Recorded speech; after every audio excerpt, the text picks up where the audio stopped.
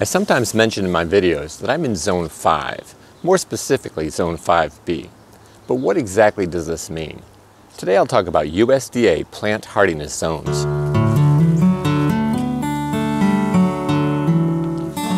The United States Department of Agriculture developed plant hardiness zones as a standard to help gardeners and growers determine which plants are most likely to thrive where they live.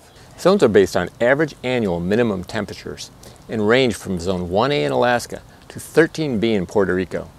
They were last updated in 2012 to reflect the last 30 years of temperature data.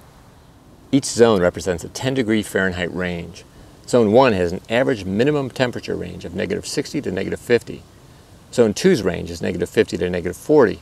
Zone 3's is negative 40 to negative 30, and so on up to Zone 13, which has a minimum temperature range of 60 to 70 degrees Fahrenheit. The A and B divisions break down each zone further to 5 degree increments.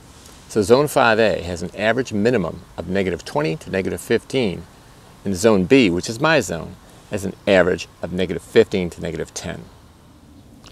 Because zones are based on average annual minimum temperatures, they give you a good idea of what plants will survive winters in your zone. This information is especially helpful when purchasing perennials, and I would never invest in a new perennial without first learning its zone compatibility, which is usually provided by the seller. For example, when I bought this Asian pear tree, I first confirmed that this variety is hardy to zone 5, which simply means it should survive zone 5's average minimum temperature range of negative 20 to negative 10 Fahrenheit. If you live in the U.S., it's very easy to determine your plant hardiness zone simply by visiting the USDA website. This interactive map allows you to determine your zone by entering your zip code. You can also select your state to see the different zones in your area. I've provided a link to the map in the description below. The topic of plant hardiness zones can be a little confusing when talking to people around the world because not everyone's familiar with the USDA system. In some countries, including Canada and Australia, have developed their own systems.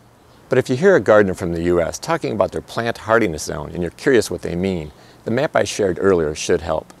And depending on where you live in the world, you may also be able to find the USDA plant hardiness zone for your country online as well. For example, here's a USDA plant hardiness zone map for the United Kingdom and the Republic of Ireland, where the zones range from 7A to 10A. And here's a map for Australia, which has a range of 7B to 12B. Again, these are the USDA zones, which are different from the Australian zones. Now let's look at some of the shortcomings of the USDA system when it comes to determining what plants you can grow and when you can plant them. It takes minimum temperatures into account, but it ignores other important factors like summer temperatures, daylight hours, and the length of the frost-free growing season. To illustrate my point, let's look at two counties where I'd love to have a garden.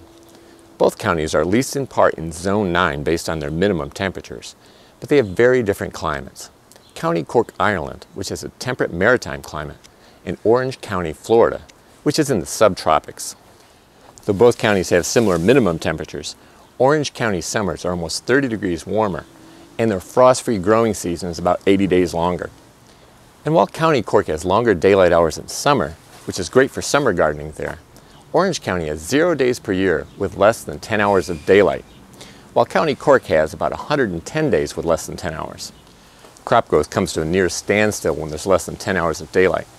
So Florida's longer winter daylight hours, plus the fact they have fewer days where frost is a factor, means that they can grow a wide variety of crops during winter. Like I said before, I'd love to have a garden in both counties. I could grow most of what I'm currently growing in my garden in both locations. But if I lived in Orange County, I could grow a wide variety of crops during the winter, and I could start crops that are frost sensitive earlier and grow them later in the season. I could also grow crops that thrive in the subtropics, including sweet potatoes, watermelons, oranges, lemons, limes, grapefruit, guava, kumquat, and persimmons. So, though both counties are in the same zone, they have very different climates that support different crops. Of course, one also has to consider the gardener's preferences. And in my case, perhaps because of my background, I prefer Cork's temperate climate over the subtropics. I don't do well in the heat. Despite these limitations, Plant hardiness zones are helpful, and I always take them into account when shopping for new perennials because they tell me which plants are likely to survive our winters here. Just keep in mind that your plant hardiness zone won't tell you when to plant in the spring how long your growing season is, or even what crops will thrive in the summer where you live. If you live in the United States and want more information on what crops grow well in your area, you can always contact your local agricultural extension.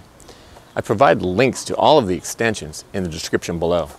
If you found this video helpful, please give it a thumbs up. And if you haven't already, please subscribe for more videos on how to grow a lot of food on a little land without spending much or working harder than you have to. Hey, buddy. Say hi to everybody.